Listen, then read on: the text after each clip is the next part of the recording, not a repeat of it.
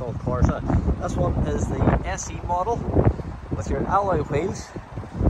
So 1.2 petrol, 75 brake horsepower. Through here into the boot, good spacious boot here.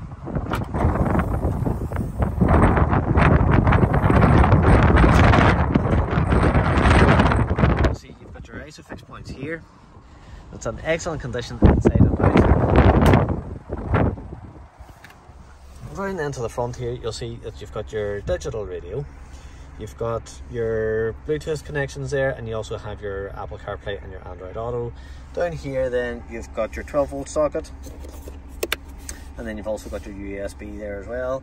And then up here, then you've got your air conditioning.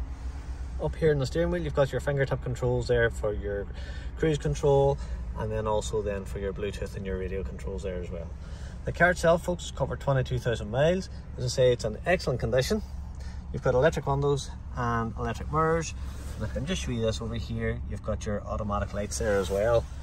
It's only just arrived to stock and we're putting it out onto the forecourt here this afternoon. So book yourselves a wee appointment and come and take a test drive.